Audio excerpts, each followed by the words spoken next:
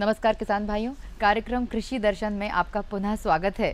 किसान भाइयों, जैसा ये कार्यक्रम आपके लिए महत्वपूर्ण है, ठीक उसी तरह ही हमारे लिए भी ये ज़रूरी हो जाता है कि समय समय पर नई नई जानकारियाँ, बीजों की जानकारियाँ और कृषि जगत में होने वाली उपलब्धियाँ आप तक पहुँचाना। हमारे इस कार्यक्रम का सतत यही प्रयास रहता है कि आपके समक्ष नए नए कार्यक्रम प्रस्तुत करते रहें और नई नई जानकारियों से आपको अवगत कराते रहें। तो आइए, आज के इस नए कार्यक्रम की फिर से शुरुआत करते हैं, खबरें खेती की वो मंडी भाव के साथ।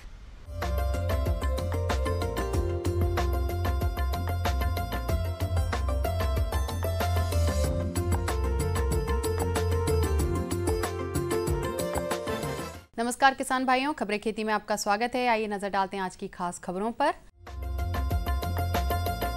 दलहन विकास के लिए 440 करोड़ आवंटित।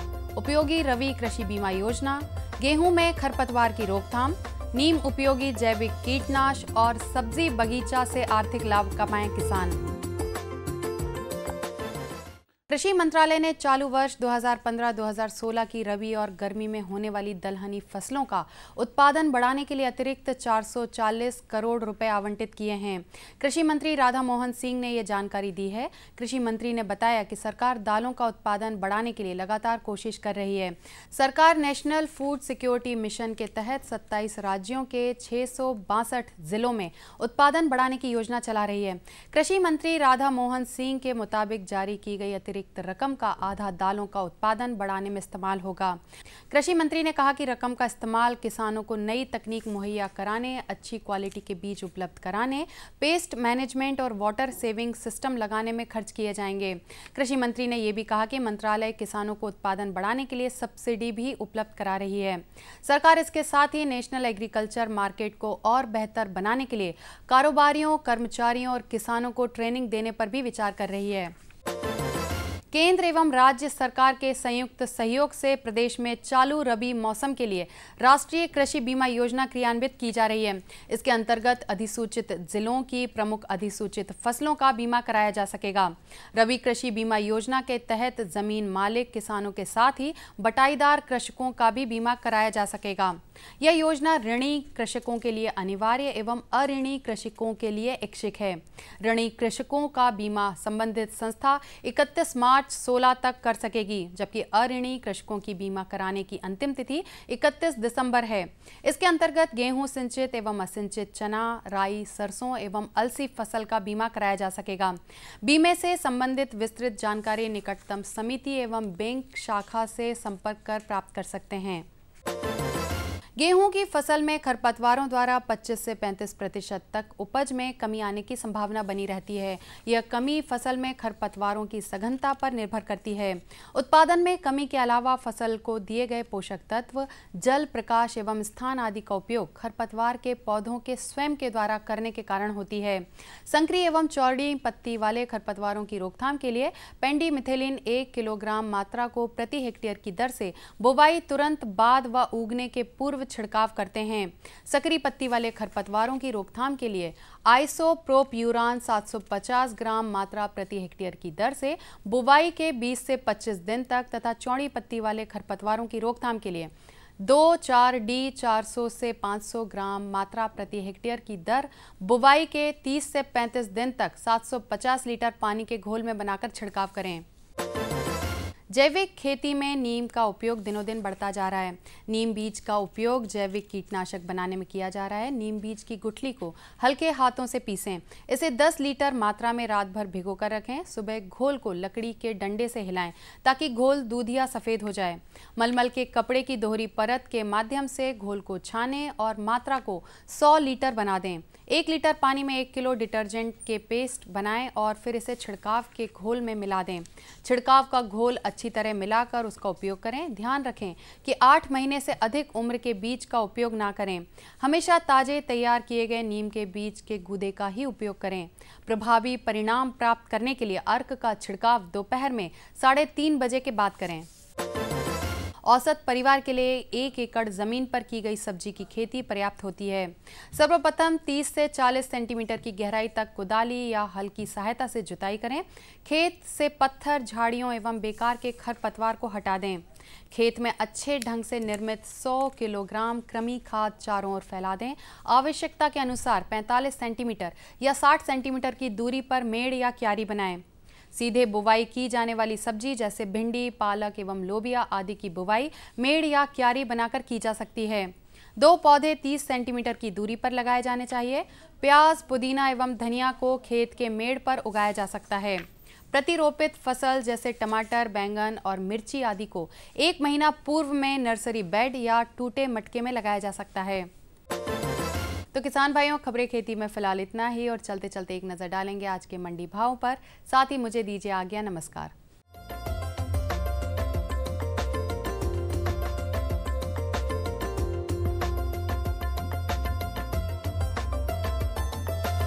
सबसे पहले हम बात करेंगे भिंडी के मंडी भाव की। भोपाल में भिंडी का न्यूनतम भाव रहा चार सौ रुपये प्रति क्विंटल और अधिकतम भाव रहा आठ सौ रुपये प्रति क्विंटल। बुरहानपुर में भिंडी का न्यूनतम भाव रहा दो हज़ार दो सौ रुपये प्रति क्विंटल, वहीं अधिकतम भाव रहा तीन हज़ार रुपये प्रति क्विंटल।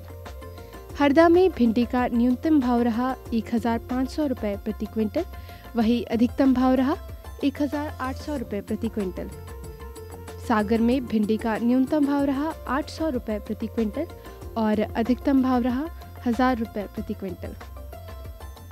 अब हम बात करेंगे हरी मिर्च के उपज भाव की। शाजापुर में हरी मिर्च का न्यूनतम भाव रहा हज़ार रुपये प्रति क्विंटल, वहीं अधिकतम भाव रहा दो हज़ार रुपये प्रति क्विंटल। मुरैना में हरी मिर्च का न्यूनतम भाव रहा हज़ार रुपये प्रति क्विंटल और अधिकतम भाव भी हज़ार रुपये प्रति क्विंटल ही रहा। खंडवा में हरी मिर्च का न्यूनतम भाव रहा एक हज़ार रुपये प्रति क्विंटल और अधिकतम भाव रहा तीन हज़ार रुपये प्रति क्विंटल।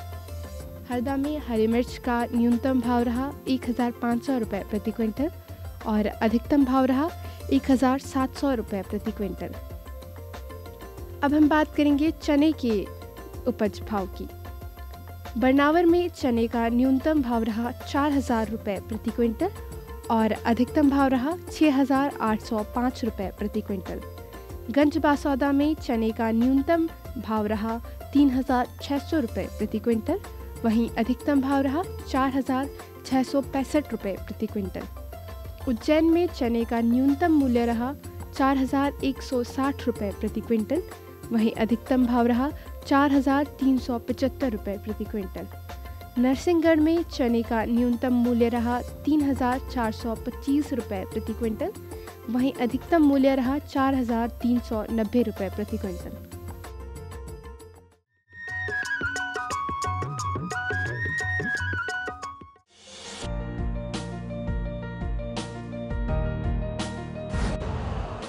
यूरिया का स्वदेशी उत्पादन 70 लाख टन बढ़ाने के लिए छह उर्वरक संयंत्रों का उद्धार किया जा रहा है। एफ़ के गोरखपुर, सिंदरी, तलचर और रामागुंडम संयंत्र, एच की बरौनी इकाई और बीवीएफसीएल की नामरू फोर्थ सोने पर सुहागा ये है कि देश में अब बनेगा सिर्फ़ नीम लेपित यूरिया। क्योंकि इससे होगा किसानों का फ़ायदा ही फ़ायदा। अनाज का उत्पादन 10 फ़ीसदी तक बढ़ेगा। बढ़ेगी 10 से 15 फ़ीसदी नाइट्रोजन क्षमता।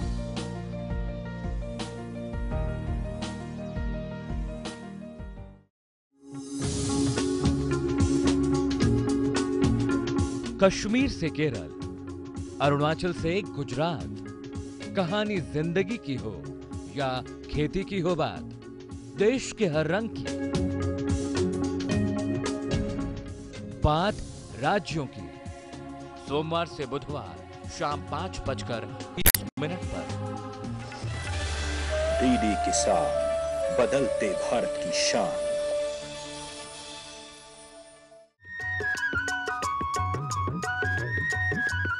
किसान भाइयों मौसम में भारी बदलाव आया है और शीत ऋतु भी अपने चरम पर है। इतनी ठंड में आपको अपने खेतों में कई प्रकार के सामयिक कार्य करने होते हैं। ये सामयिक कार्य करते वक्त आपको कई प्रकार के कार्य विशेष रूप से सूझबूझ के साथ करने होते हैं, जिसमें कि आपको उन्नत तकनीकें बहुत लाभकारी होती हैं। आज के समय में उन्नत तकनीकें मौजूद हैं, जिसे अपनाकर आप बेहतर मुनाफा भी कमा सकते हैं। तो आइए, हमारे विशेषज्ञ डॉक्टर रुद्रसेन आपको बताएँगे इस कार्यक्रम में कि कृषि में सामयिक कार्य कैसे किए जाए और उनसे पूरा पूरा लाभ कैसे कमाया जाए। किसान भाइयों, आज इस समय दिसंबर का महीना चल रहा है और कुछ हमारे ऐसे किसान भाई हैं जो कि अभी भी गेहूँ की उन्नत प्रजातियों का, की बुआई नहीं कर पाए हैं, किसी भी कारणवश या तो धान की फ़सल नहीं कट पाई है तो हमारे किसान भाइयों को भ्रमित या जो है घबराने की ज़रूरत नहीं है।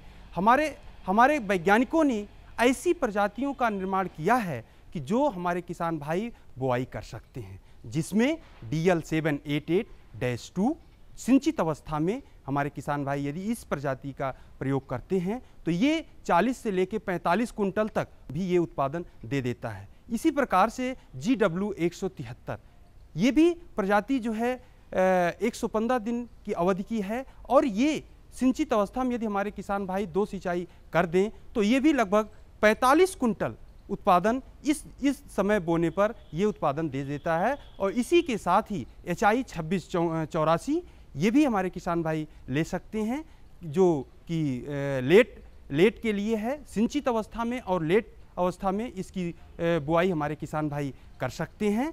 और दूसरी जो प्रजाति है एच आई चौदह, चौवन, ये प्रजाति भी हमारे किसान भाई लेकर जब लेट हो गया है, इस समय तो इन प्रजातियों को लेकर के और इन्हीं प्रजातियों का बुआई करें। और दूसरी जो अन्य प्रजातियाँ हैं, उनकी जो लेट किस्म की बोने की है, उन्हीं का हमारे किसान भाई प्रयोग करें। इसके अलावा यदि और भी हमारे किसान भाई लेट होते हैं, जो कि जनवरी पंद्रह तक बोना चाहते हैं और उनके, वो उस उन प्रजातियों का इस्तेमाल करना चाहते हैं तो वो भी जो कुछ ऐसी प्रजातियाँ हैं जिसका जो है, हमारे किसान भाई ले सकते हैं, जिसमें N I A W thirty four या H D two four zero two इन प्रजातियों को लेकर के जनवरी पंद्रह तक यदि हमारे किसान भाई इसका प्रयोग करते हैं तो अधिक से अधिक गेहूँ का उत्पादन इन प्रजातियों का प्रयोग करके भी हमारे किसान भाई उत्पादन ले, कर सकते हैं। दूसरा, इस समय इन, यदि हमारे किसान भाई सरसों, जो कि बुंदेलखंड, मध्य प्रदेश में बहुत ज़्यादा बोया जाता है, यदि उन्होंने अक्टूबर माह में बो दिया है क्योंकि जलवायु क्लाइमेट परिवर्तन के कारण आज ऐसा जो है मौसम बन रहा है, ऐसे धूप और कभी बदली आ रही है, जिसके कारण माहू का प्रकोप बहुत ज़्यादा बढ़ जाता है। तो हमारे किसान भाई, ये सुनिश्चित कर लें, अपने खेत का भ्रमण इस समय करते रहें। नहीं तो आप देखेंगे एक, दो दिन या चार दिन बाद यदि आप खेत पे पहुँचते हैं, आपने भ्रमण किया और उस समय माहू नहीं था, लेकिन दो चार दिन, दस दिन के बाद जब जाते हैं तो उसका प्रकोप बहुत ज़्यादा बढ़ जाता है। तो हमारे किसान भाई, ये भ्रमण करके ये सुनिश्चित करते रहें कि माहू आ तो नहीं रहा है या दिख तो नहीं रहा है। यदि एक भी पौधे पर माहू का प्रकोप होता है तो हमारे किसान भाई तुरंत ही दवा का इस्तेमाल करें। उसके लिए हमारे किसान भाइयों को ये देखते रहना है कि कम से कम फूल जहाँ पर वो फूल कली अवस्था पर हमारी सरसों है, उसमें कम से कम पाँच सेंटीमीटर ये निश्चित कर लें कि उसमें कितने माहू हैं। यदि 15 से 20 माहू उसमें दिखने लगते हैं तो तुरंत ही हमारे किसान भाई इमिडा क्लोप्रिड नामक दवा का इस्तेमाल करें। नैपसेक टंकी है 15 एम की टंकी में पाँच एम दवा का इस्तेमाल करें और उसका छिड़काव करें। ऐसे एक एकड़ में लगभग 10 टंकी पानी लगेगा, जिसमें कि लगभग डेढ़ सौ लीटर पानी होगा और इसको जो है 50 एम दवा हमें, हमारे किसान भाइयों को एक एकड़ के खेत में डालना है। जिससे कि उसमें माहू ना लगें, क्योंकि माहू के प्रकोप से हमारा जो है, हमारा सरसों में बहुत ज़्यादा नुकसान हो जाता है। इसी प्रकार से 125 एम दवा एक हेक्टेयर में हमारे किसान भाई प्रयोग कर सकते हैं और सरसों का अधिक से अधिक उत्पादन कर सकते हैं। दूसरा, जो आने वाला जो समय है, इस समय यदि हमारा जो चना है, कुछ किसान भाई अगेती चना लगा चुके हैं, जिसमें कि फूल अवस्था है। इस समय भी हमारे किसान भाइयों को फूल, यदि वो इनिशियल स्टेज में है और उसमें फूल आना प्रारंभ हो गया है तो सर्वप्रथम हमारे किसान भाइयों को ये देखना है कि यदि उनके पास पानी की सुविधा है तो हमारे किसान भाई उसमें पानी लगा दे। पानी एक फूल अवस्था पर कहीं कहीं फूल दिख रहा है तो पानी लगा दे। दूसरा, उसमें ये भी देखते रहें कि कहीं इल्ली तो नहीं आ रही है। यदि इल्ली आ रही है तो उसके लिए कहीं एक दो इल्ली है तो उसके लिए टी आकार की हमारे किसान भाई, टी आकार की ऐसे जो है खूंटी बना लें और टी आकार की खूंटी खेत में, एक एकड़ के खेत में पंद्रह से लेके बीस खूंटियाँ जो है लगा दें। उस पर जो इल्ली को खाने वाली जो चिड़िया है, उस पर वो बैठेगी और इल्ली को जो है देख करके उसको नष्ट, वो करती रहेगी, खा लेगी। क्योंकि एक दो इल्लियाँ स्टार्ट होती हैं और वो लगभग 200 से लेके 250 अंडे एक एक पौधे पर देती हैं। तो ऐसे एक इल्ली लगभग 250 300 इल्लियाँ पैदा कर देती है और कुछ ही दिन में बहुत सारी इल्लियाँ हमारे खेत में, चने के खेत में दिखाई देने लगता है। तो इसलिए हमें टी आकार की खूंटी लगा देना चाहिए और जिससे कि उसका इल्ली का नियंत्रण हो सके। दूसरा, यदि किसान भाई लेट हो गए टी आकार की खूंटी नहीं लगा सके हैं तो कुछ दवाएँ हैं, जैसे प्रो, प्रोफेनोफास है, उसका इस्तेमाल करें। यदि उसमें ज़्यादा मात्रा में इल्ली आ रही हैं तो उससे भी उसका निदान हमारे किसान भाई साढ़े सात सौ से लेके एक लीटर मात्रा ज़्यादा मात्रा में दवा का प्रयोग नहीं करना है, क्योंकि उसका समुचित प्रयोग हमें भी करना है, जिससे कि हमारे ऊपर भी नुकसान ना हो। तो साढ़े सात सौ एम से लेके एक लीटर मात्रा को जो है लगभग 500 लीटर लीटर पानी में घोल करके और उसका एक हेक्टेयर में छिड़काव करें, जिससे कि इल्ली समूल रूप से निदान उसका हो जाएगा और उससे जो है हमारे किसान भाइयों को ज़्यादा से ज़्यादा चने का उत्पादन हमारे किसान भाई ले सकते हैं। बहुत बहुत धन्यवाद।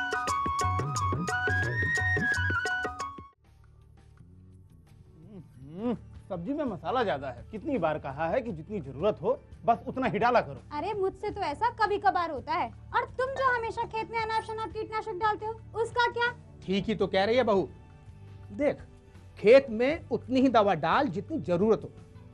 याद रखो कीटनाशक जहरीले होते हैं।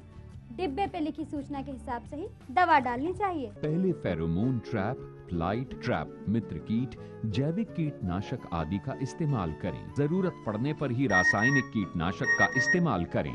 छिड़काव सुबह या शाम दस्ताने मास्क और पूरी आस्तीन वाले कपड़े पहनकर करें। हवा की दिशा में छिड़काव करते हुए पीछे जाएँ। दवा के डिब्बे छिड़काव यंत्र सुरक्षित जगह पर रखें।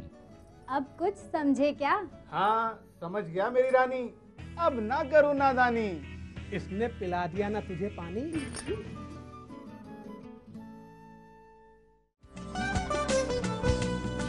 कौन कौन सी हैं सरकारी योजनाएँ? कैसे उठाएँ इनका लाभ? जानिए अपने गाँव का हाल। देखिए चौपाल चर्चा सोमवार से शुक्रवार। सुबह नौ बजे। डीडी किसान बदलते भारत की शान।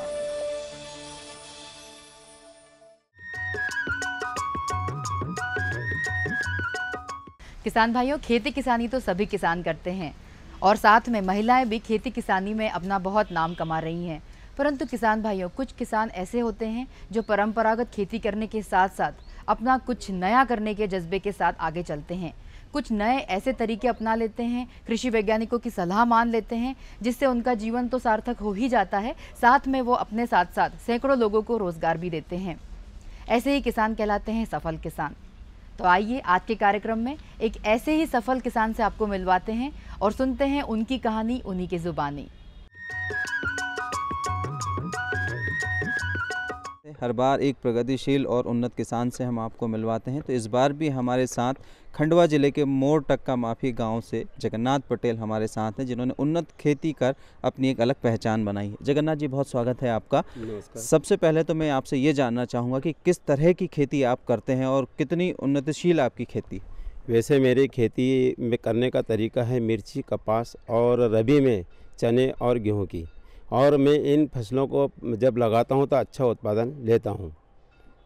आप सीजनेबल पारंपरिक खेती करते हैं, लेकिन जहाँ से आप बिलोंग करते हैं, खंडवा ज़िले से, वहाँ का जलवायु, वहाँ का वातावरण, उसके अनुसार जब आप खेती करते हैं तो कितनी बेहतर तरीके से आपकी उपज होती है और किन किन प्रणालियों का किन किन चीज़ों का उपयोग आप उस खेती में करते हैं? किसी भी फ़सल को लेने से पहले किसान भाइयों को विशेष करके कुछ बातों का ध्यान रखना चाहिए। जैसे मिट्टी की जाँच अनिवार्य है, बीजोपचार ज़रूरी है बीजों का अंकुरण करना भी बहुत ज़रूरी है इसके बाद में हमें समय समय पर सिंचाई समय समय पर खाद, रासायनिक खाद की वजह हम अगर बायो खाद या जैविक खाद भी अपनाएँगे तो हम बिल्कुल अच्छा उत्पादन ले पाएँगे। और ऐसे ही मैंने अभी पिछले दिनों श्री विधि से गेहूँ का उत्पादन लिया।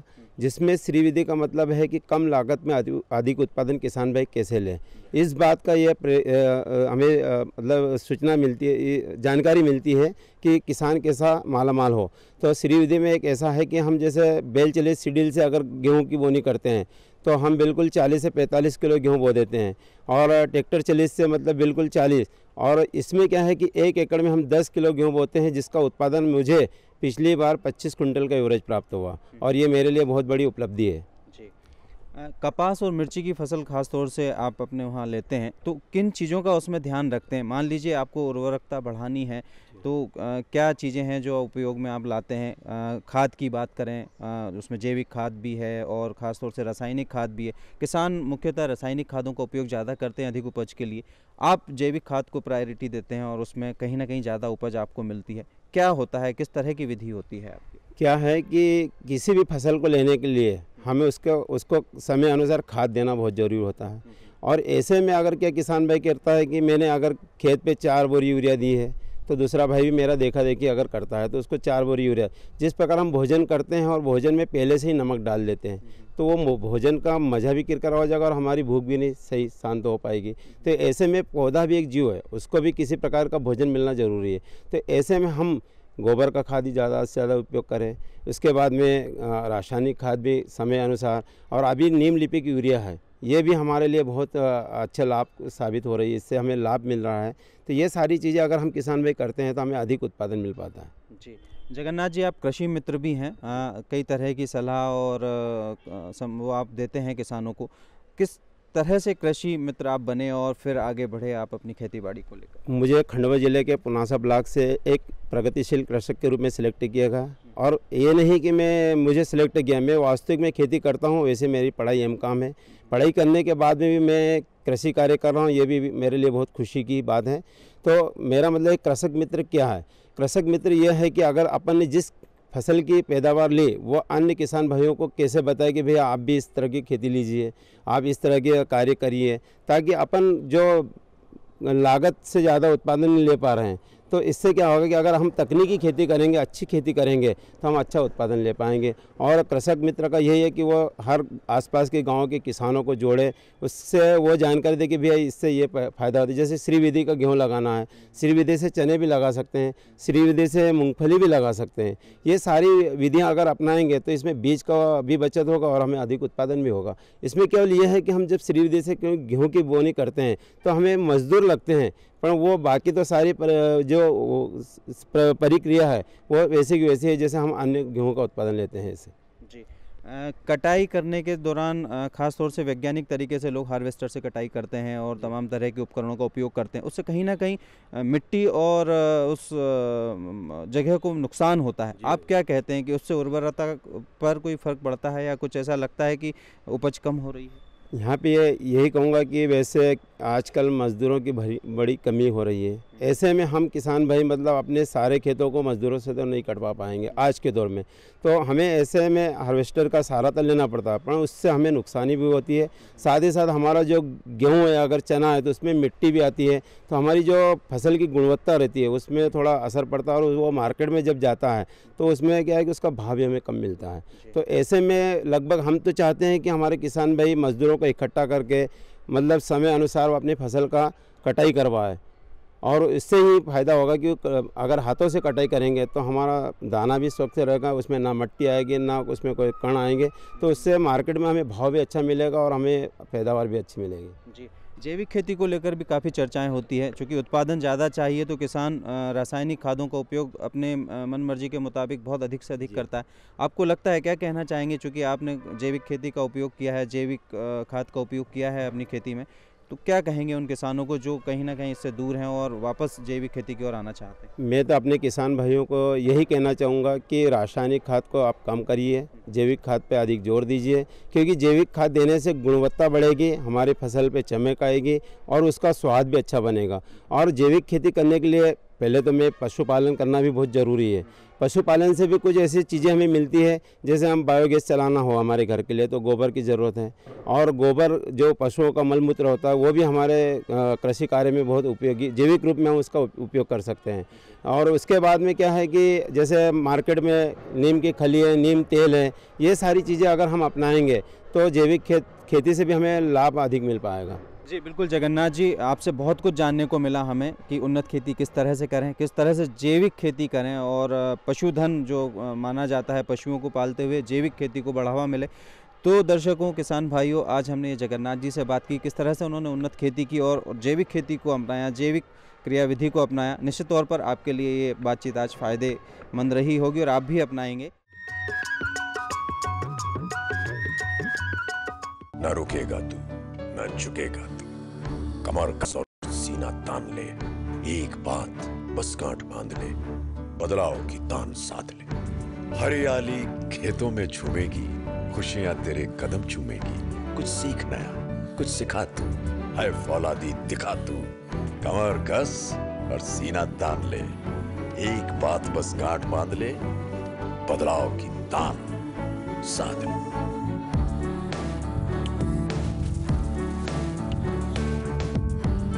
दूरदर्शन किसान छेड़ो बातें बदलाव की।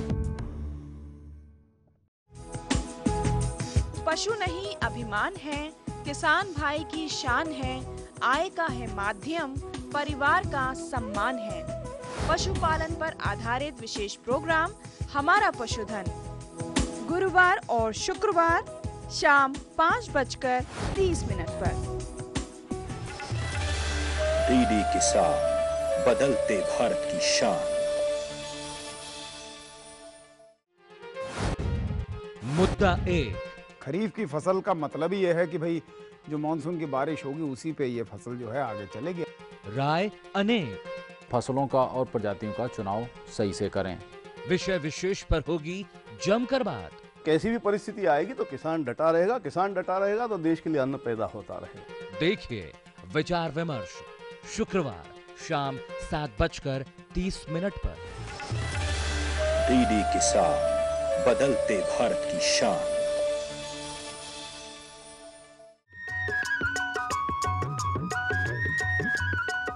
तो किसान भाइयों, जाने का समय हो चला है, परंतु जाने से पहले आप हमारा पता नोट कर लीजिए। यदि आपके कोई सुझाव या आप हमसे पत्राचार करना चाहते हैं तो इस पते पर करिए। हमारा पता है कार्यक्रम कृषि दर्शन, द्वारा निदेशक, कमरा नंबर चार, दूरदर्शन केंद्र, Shamla Hills, Bhopal. Pin code चार छः दो शून्य एक तीन। तो किसान भाइयों, आज के कार्यक्रम में बस इतना ही। अगले कार्यक्रम में पुनः उपस्थित होंगे खेती से जुड़ी नई जानकारियों के साथ। तब तक के लिए मुझे आज्ञा दीजिए। नमस्कार। ちょっとちょっと。